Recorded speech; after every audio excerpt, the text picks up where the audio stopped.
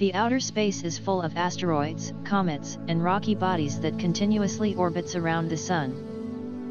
When an asteroid comes close to Earth, it is referred to as a near-Earth object or NEO.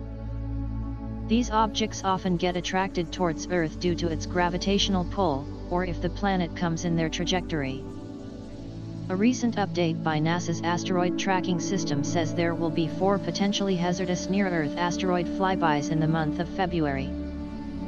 NASA has revealed the size and distance of the asteroids that will make their closest approach, and also the exact timing at which the close encounters take place.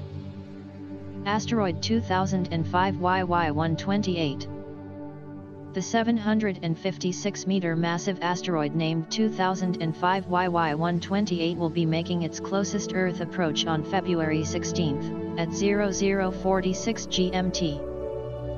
It will flew past Earth at a distance of 4.5 million kilometers, according to the information provided by NASA's JPL. This massive asteroid is heading towards Earth at a speed of 88,740 km per hour.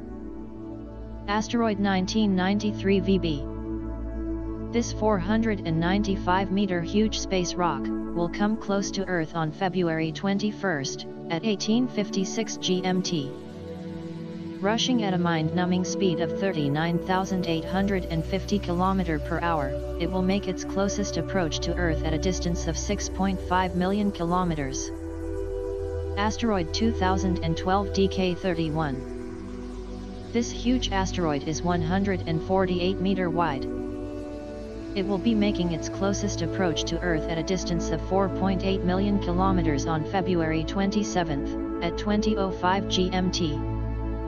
The speed of the asteroid as tracked by NASA is 55,944 kilometers per hour.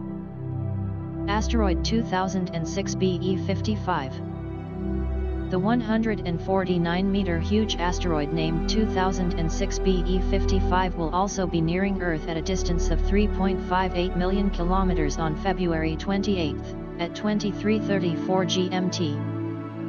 The asteroid is heading towards our planet at a speed of 47,952 kilometers per hour. NASA says none of the asteroids discussed above possess any kind of threat to our planet, they will simply pass by the planet. However, it is still important to track their movement, for which NASA has deployed several Earth and sky-based technologies like telescopes, satellites, and many more in space. We update information about asteroids approaching close to our planet Earth. If you like our video, please feel free to support us with a thumbs up, and also don't forget to subscribe our channel Space Life Zero.